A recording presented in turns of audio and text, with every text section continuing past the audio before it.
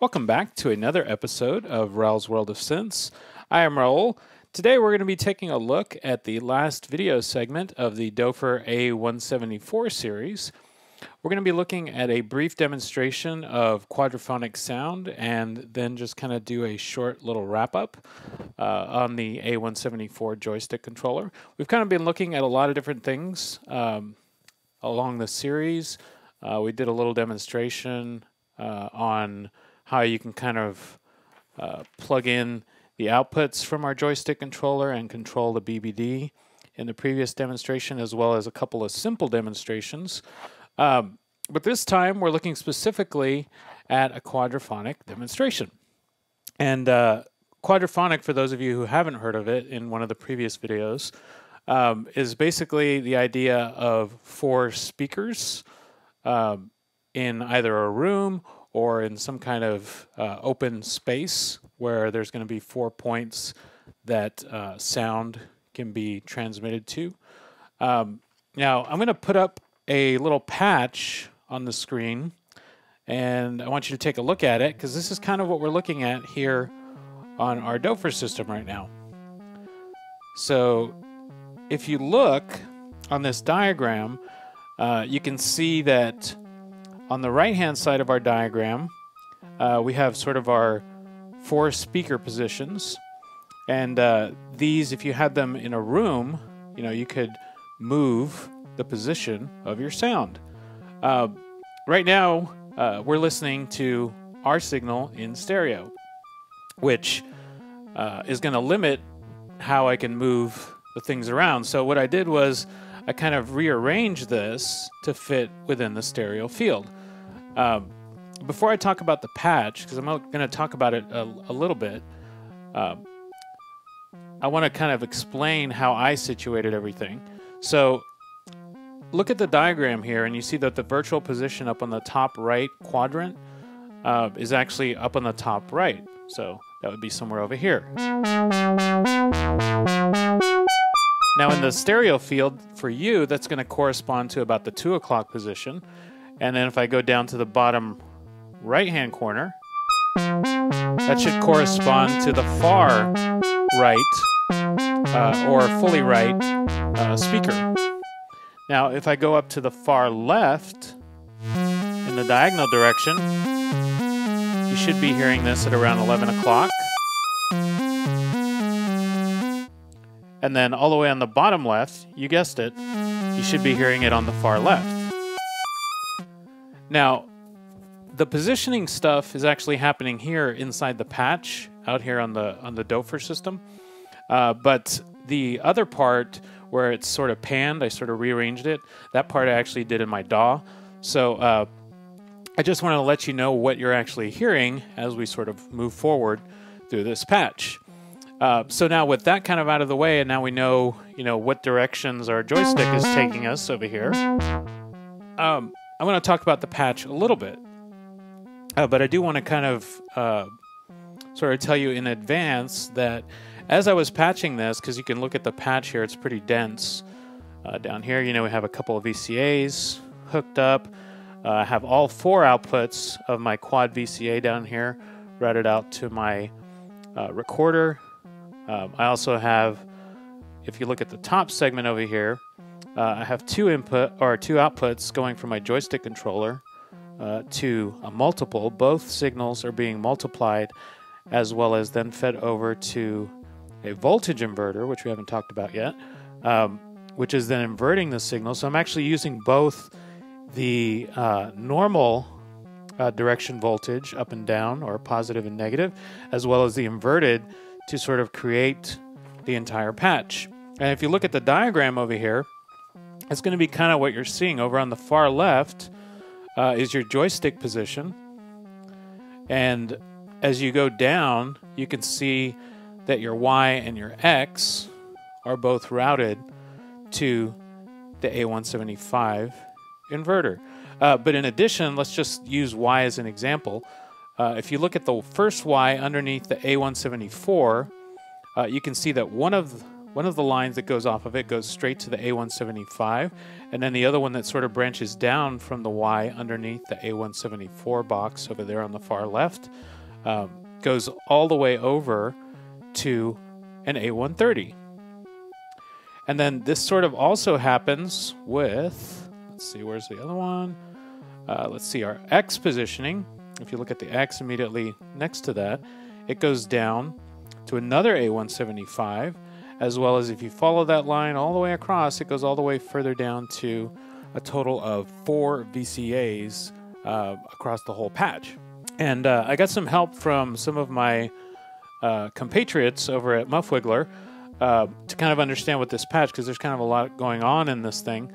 Um, and uh, the best explanation, I guess, came from D. Kramer, who uh, sort of explained that I guess the first two VCAs back on our diagram, which if we look at the patch over here, uh, this is actually VCA, I'm calling it VCA 1, uh, but in the diagram, it's the one that is underneath audio in.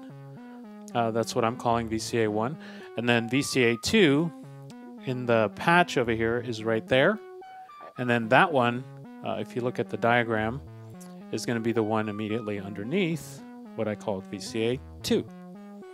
Um, so D. Kramer, anyway, was explaining to me that uh, that one actually creates, you know, a stereo uh, sort of movement, and then the other four VCAs in our diagram are creating the movement in the, the quad space.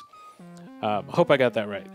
At any rate, um, as I was sort of delving into this patch, I realized, wow, this is a really big topic. I didn't want to sort of overshadow the A174 series because I still want to sort of limit it to it being about the A174. Uh, so I'm going to do a special video segment a little bit later, maybe next week or the week after, specifically on quadraphonic and looking at this specific patch in more detail. Uh, but this time I thought it would be useful just to kind of go in and sort of play around with this thing. Uh, so, you know, we saw that it plays up in this quadrant. And then if I go down to the bottom, does that.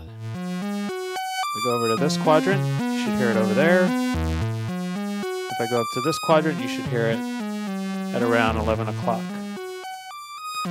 So in the center, we have zero. Now, right now, uh, if you wanted to kind of get a little bit better of a sort of uh, atmosphere, I guess, uh, you can increase the gain. Um, that's on my VCA because down here on my VCA, I actually have it turned all the way down. Uh, but if we bring it up a little bit, it won't actually ever take you to quite silence. So if I bring that up a little, bring this one up a little, we can still get a little bit of that spatial movement.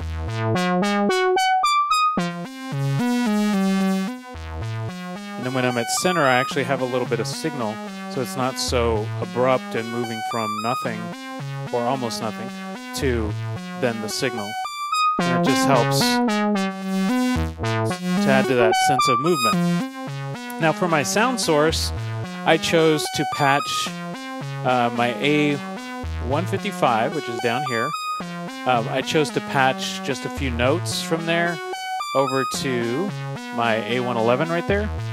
And uh, on the A111, I have that going out uh, over to the A121 multi-mode filter right here. And then I have the two outputs, the notch and the low pass, going down to the bottom into my uh, VCA1 and VCA2.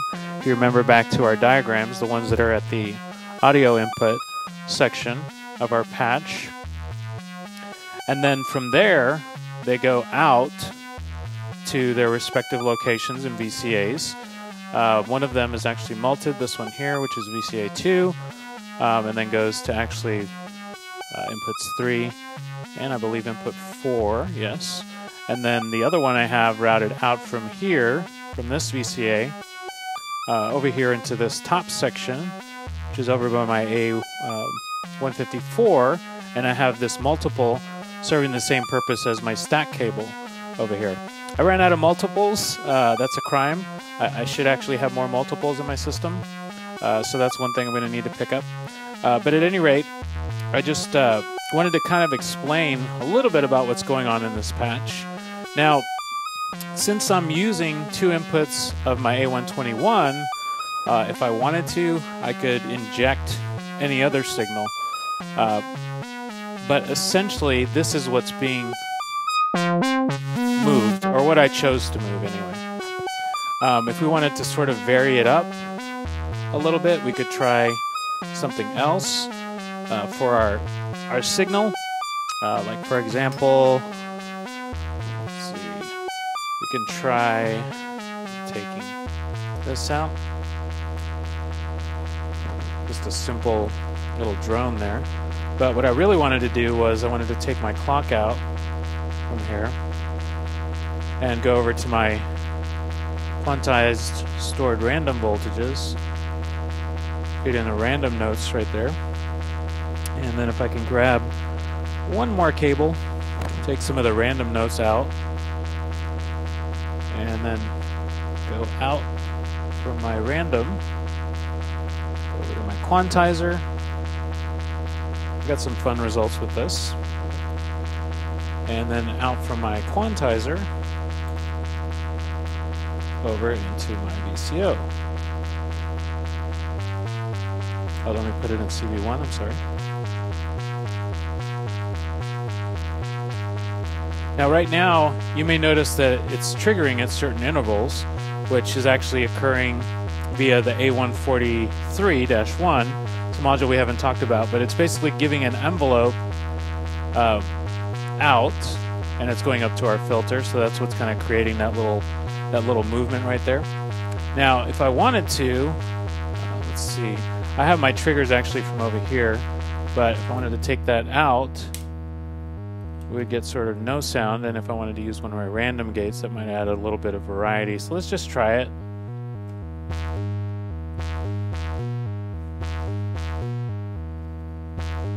I'm going to adjust the lower one.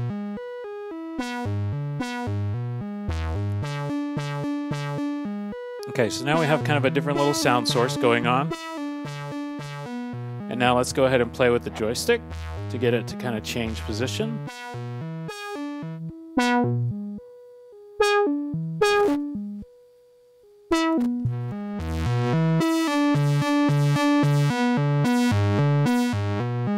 And I can move this kind of continuously if I wanted to.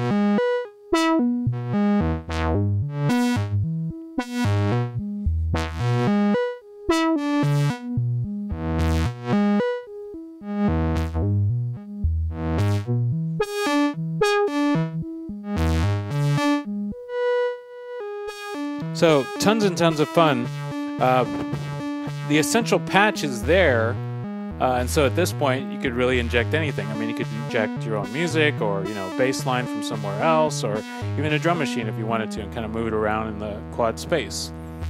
Um, but for the most part, we just wanted to do a simple demonstration this time. Um, I do want to thank you for watching, uh, not just this video, but the series as a whole. Uh, I hope that you found it useful. I know I found it useful in my learning uh, in the modular world, which I still actually am learning every single day. Um, let's see. Hopefully by next week, I'll have started putting together uh, the the segments for the quadraphonic patch, which is basically going to be this patch in depth, but you know we'll build it from the ground up. Um, might take you know a few different takes because I did have a few technical difficulties. Nothing, nothing too serious though. Uh, but at any rate, again, thanks you for watching, and see you next time.